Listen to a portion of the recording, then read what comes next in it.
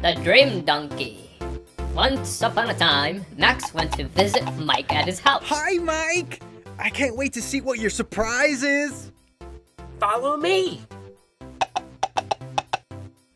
Wow! Does it fly? You bet. Let's go on an adventure. And so the two donkeys left to a different planet.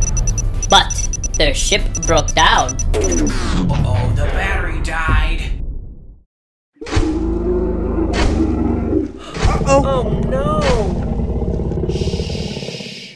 We better find somewhere to rest for the night. Max and Mike went past the dinosaurs.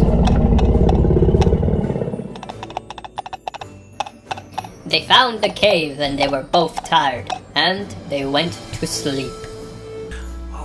This place looks comfy. The next day, Max went to find food.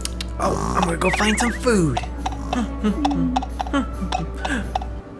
oh, look! I found some food! He got the food and returned to the cave where they ate their mm-hmm. food. Mm-hmm.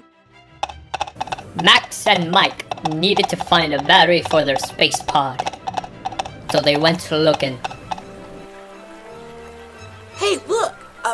Battery! I bet this'll fix our space pod. The two donkeys headed back to the space pod until they came face to face with the Gigantosaurus. Then a T-Rex came and they were battling.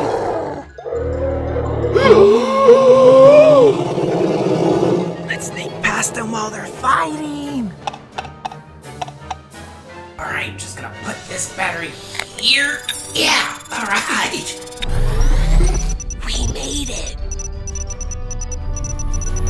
Oh, let's get out of here, Max. Two donkeys landed right in front of Mike's house. Safely returned. That was crazy. Let's go on an adventure again next weekend. You bet, buddy. And they both relaxed and watched TV. The end.